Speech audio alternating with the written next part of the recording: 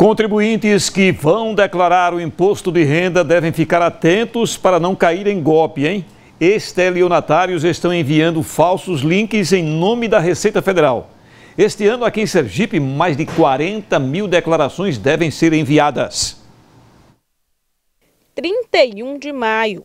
Esse é o prazo para o contribuinte realizar a declaração do imposto de renda referente a 2023.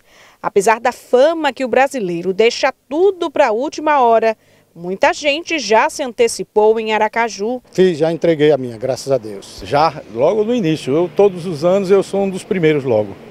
Tem um benefício porque a minha restituição é lote de velho, né?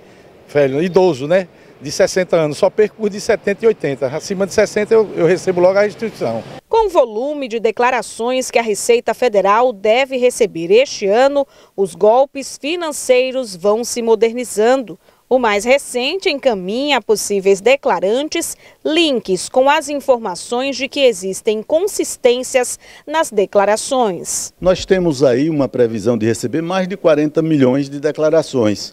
Então, os golpistas, eles veem que aí tem uma grande oportunidade para aplicar os seus golpes. Mas a Receita tem um procedimento assim já conhecido da população, no sentido de que as formas de comunicação são através do portal ECAC que é o portal eletrônico da Receita Federal, o contribuinte apresentando sua senha lá, do portal GovBR, com selos de segurança, seja nível prata, nível ouro, jamais encaminhar através de WhatsApp ou qualquer outra mídia social e link para que o contribuinte acesse. Não existe esse tipo de correspondência da Receita Federal com os seus contribuintes. Já fez sua declaração de imposto de renda? Ainda não, mas pretendo fazer por esses dias.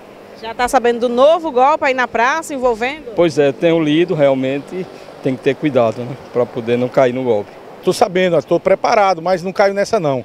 Tanto que quando eu entro pelo ECAC da Receita Federal, eu vou lá e confiro se realmente foi, foi programada, se a minha já foi confirmada. E a minha já foi confirmada. Em Sergipe, a Receita Federal não recebeu denúncia de casos como esses, mas alerta a população sobre os cuidados na hora de declarar o imposto de renda. Em relação à declaração deste ano, a Receita não entra em contato com o contribuinte de forma alguma, a não ser através do aplicativo Meu Imposto de Renda, que é baixado no celular, ou do portal ECAC o contribuinte, quando vai verificar o processamento da sua declaração, vai verificar se está em malha. Qual é a providência que ele deve fazer?